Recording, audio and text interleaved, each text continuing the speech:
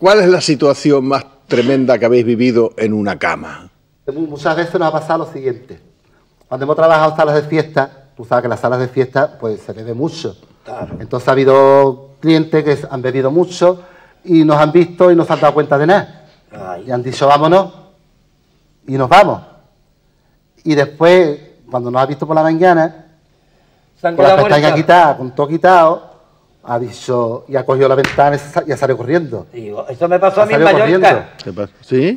sí, eso me está Mira, tú te voy a contar. Eso me pasó, terminamos de trabajar, que trabajábamos nosotros en, entre en Calamillón y Calamillón, en Calabona y Calamillón, trabajábamos de espectáculos en el Hotel Conso, en Mallorca, tú lo conoces, ¿no? Lo conoces, bueno. Y nos fuimos, íbamos a una discoteca a bailar. Ah, porque digo, bueno, la hora que es, tú sabes que allí los shows se hace temprano, ¿no? Y digo, bueno, bueno, vamos a la discoteca. Y me salió un muchachito, la parte mono, monísimo, monísimo. Y yo, como estaba borracha, me lo llevé, claro, me lo llevé a mi casa. Es normal, ¿no? No me iba a poner en un parque ni me iba a poner en un campo. Me lo llevé a mi casa. Pero mientras que el gasón estaba tirado en la cama.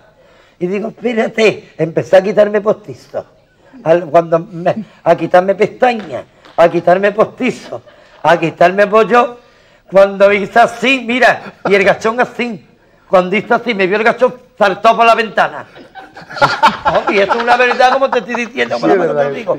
es mentira. Se fue el gachón, pues yo vivía en, vivíamos en un chalet, planta baja, y se fue el gachón por la ventana. Mira tú, yo borracho y quitármela. Ha habido de todo, de todo. Ha habido de todo, Jesús, de todo en la vida. ¿Habéis pagado, ¿habéis pagado alguna vez por hacer el amor?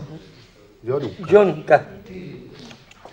Jamás la vida. Jamás. Uy, eso no se lo cree nadie. Jamás la vida. No, pues nada, es que no lo hago. Nunca, jamás la vida. Me han pagado.